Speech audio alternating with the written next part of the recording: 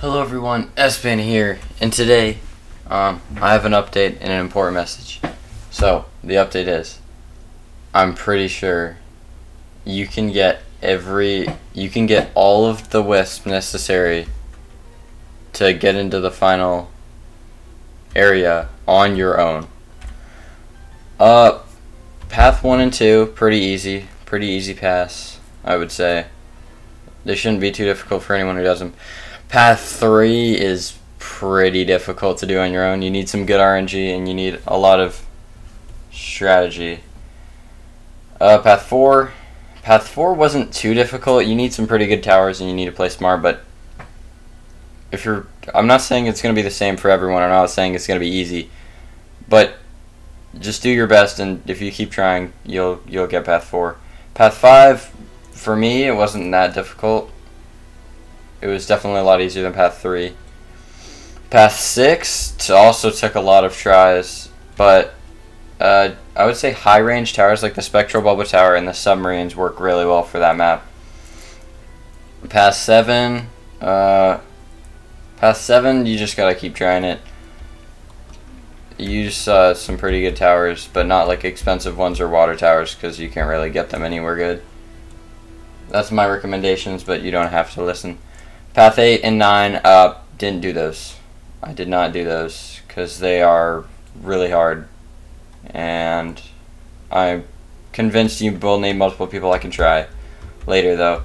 Path 10, uh, pretty good. The Echo Cannon, like the Echo Cannon Tower, works so well for that. So if you get it, uh, use it because it has super high damage and it shreds through the armored uh, like the really big armored guys and the boss. The echo cannons are going to be used for that one.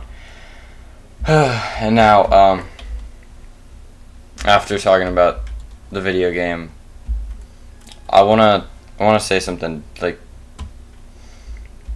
just to be honest, because when I was beginning this, I didn't think I would be able to get half of these alone. Like Path Four, when you needed multiple people. I did it with someone else and then I went back to do it again because I wanted to see if you could actually do it yourself. I'm still working on verifying if path 3 is like like mainstream beatable because then that would mean because I know I've beat path 3 solo once but I don't know if that's like good enough to make sure that you can actually like do it again or you'd have to use that specific strategy on that specific map.